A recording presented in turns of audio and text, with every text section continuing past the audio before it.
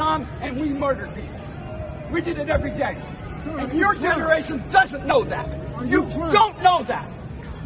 So that's why this Vietnam veteran, combat medic, who took injured and de- dead soldiers off of helicopters, this is why I did this.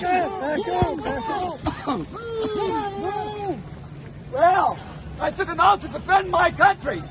And then when I got to Vietnam, we committed atrocities. We committed atrocities every single day when I was in Vietnam. I took an oath to defend this government. And when I got to Vietnam, we committed atrocities. I stood next to a ditch in Vietnam and we murdered 170 Vietnamese people. And you guys don't know that. Sir, are you all right?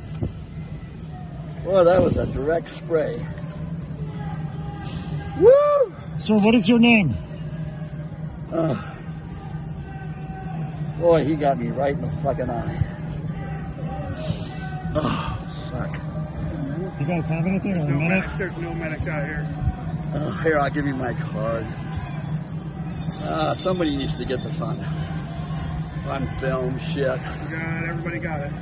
I mean, really, Just hold it up. that's why I'm here. Oh, Was yesterday your first day? no, I've been here six days in a row. Just don't rub your eye. Do not rub it. Okay, you want to walk back this way? There's water in the tent over here.